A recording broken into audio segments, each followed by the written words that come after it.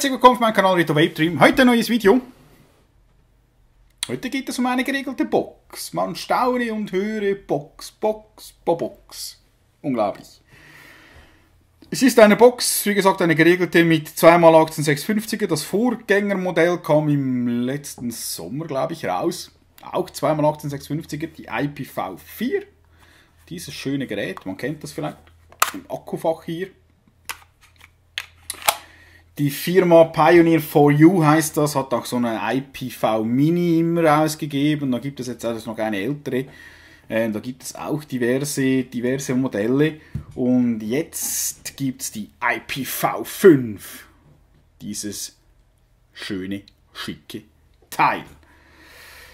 Ja, was kostet die IPv5? Die IPv5 kostet in der Schweiz 89,90 und in Deutschland 64,90. Zu haben gibt es die zum Beispiel bei, in der Schweiz bei smoke-shop.ch oder in Deutschland zum Beispiel bei prosteamer.de. Ja, ich würde sagen, wir labern gar nicht mehr groß rum, gehen sofort in die Detailsicht, dann könnt ihr dieses schöne Ding mal im Detail sehen, nämlich. Tschüss, bis später. Ja, herzlich willkommen in der Detailansicht. Das ist die IPv5 in ihrer ganzen Pracht hier, wie Sie sehen. Was haben wir hier? Wir haben 2x18650er.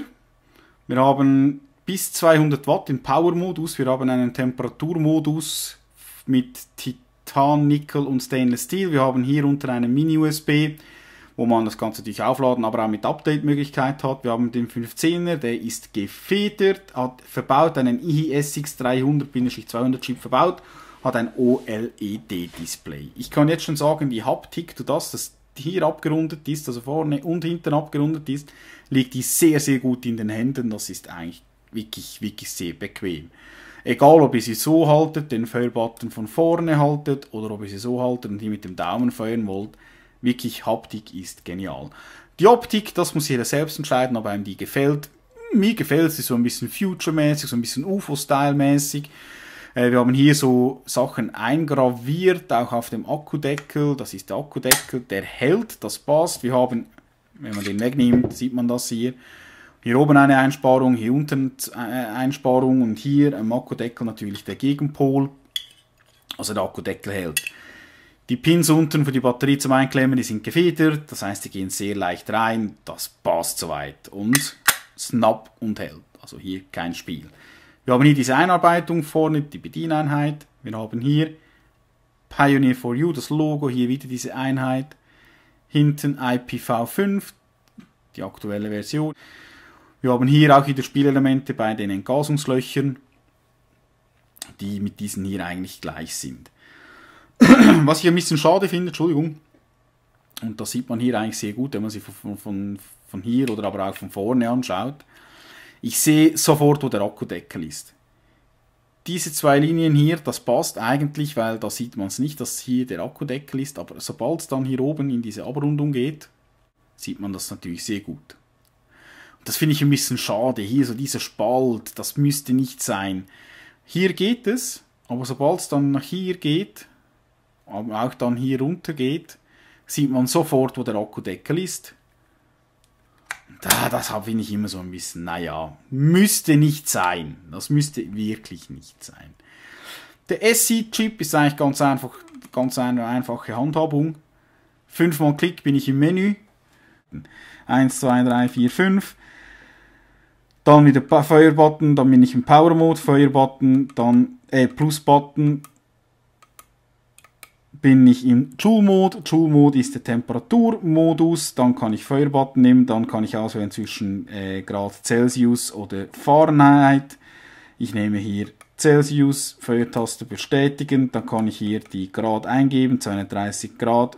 Bestätige, welche, welchen Drahtsort ich nehme. Nickel, Titan, Stainless Steel oder diese neue, oder der Verdampfer, der dann rauskommt und schon rausgekommen ist, der SX Pure kann ich hier Nickel nehmen, sage ich mal, bestätige mit der Feuerpaste, Exit Now, bestätige mit dem Plus-Taster und bin dann hier im Joule-Modus und kann hier wieder einstellen. 1, 2, 3, 4, 5, ich gehe in den Power-Modus. Ich kann hier verschiedene Vorspeicherungen machen, dann zuerst den Down-Button drücken, dann kann ich die Watt nach unten und dann nach oben einstellen, wie ich will. Ich gehe jetzt hier auf 60, bestätige mit dem Feuertaster und habe jetzt hier bei dem Speicher 3 60 Watt drin. Wenn ich jetzt nach oben gehe, kommt der Speicher 4 mit 76,4, Speicher 5 mit 100 Watt, Speicher 1 mit 10 Watt und kann, habe hier so gewisse Voreinstellungen dann erledigt. Ja, viel mehr gibt es in der Retteransicht nicht zu sagen. Mir gefällt die Box persönlich sehr gut. Ich würde sagen, wir gehen zurück in die Totale. Bis später. Ja, willkommen zurück in der Totalen. Die Box ist schön. Ich finde sie schön. Ich finde die Haptik gut. Wenn ich das vergleiche mit der Vierer, haben sie hier bei der Haptik nochmal einen riesen Fortschritt gemacht, weil hier schön abgerundet ist vorne und hinten ist schön abgerundet. Und dann liegt sie wirklich sehr gut in den Händen, egal ob ich das Display nach vorne oder so habe, sie hält sich einfach gut in den Händen. Der Akkudeckel, naja, okay, der hält hier nicht so gut, aber wenn man sagt, ja, passt eigentlich. Diese Einkerbungen hier unten und auf dieser Seite, die stören nicht, wenn man sie hält. Das funktioniert. Der Button hat einen schönen Klickton, ist ein bisschen fester, ist nicht so leicht. Ich finde ihn gut, hat eine gute Größe, finde ich. Auch die Up-and-Downs-Button, das, äh, das funktioniert sehr gut. Das Display finde ich sensationell. Das ist wirklich hell. Also man sieht das hier nochmal, ich zeige das extra nochmal. Das ist schön hell. Und ja, hey, stochen scharf, also wirklich, wirklich gut, gut, gut gemacht. Mini-USB am richtigen Ort, Schnittstelle. Was will man mehr? Ähm, das Gewicht, ja, die hat schon ein Gewicht, das ist äh, schon, ja, die hat, die, die, die, doch, hat ein schwereres Gewicht, das ist so. Ähm, die Farbe schwarz gibt es in Silber, ich glaube grau oder weiß, ich weiß gar nicht, oder rot oder blau, irgendetwas so gibt es noch, eine andere Farbe. Ich habe mich jetzt für Silber entschieden. Silber, naja, man sieht hier jeden Fingerabdruck drauf, das ist das weniger geil. Ja.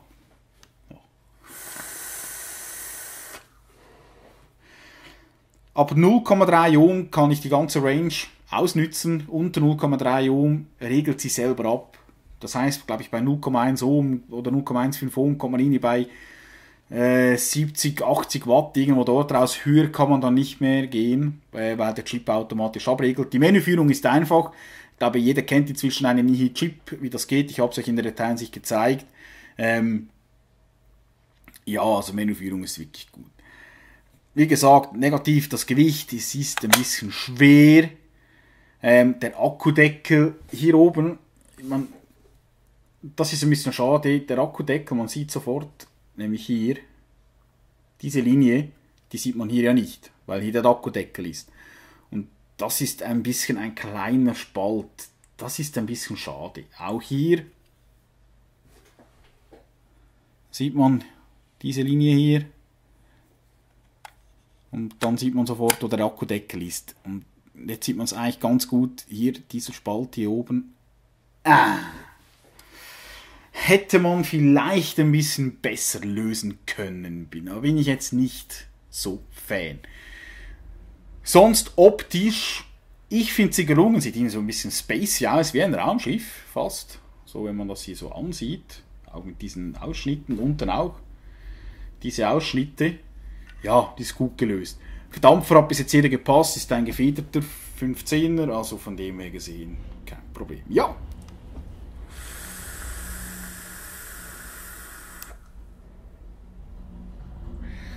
Und ich habe so das Gefühl, sie macht auch das, was sie tun soll, weil sie haut einfach schön raus.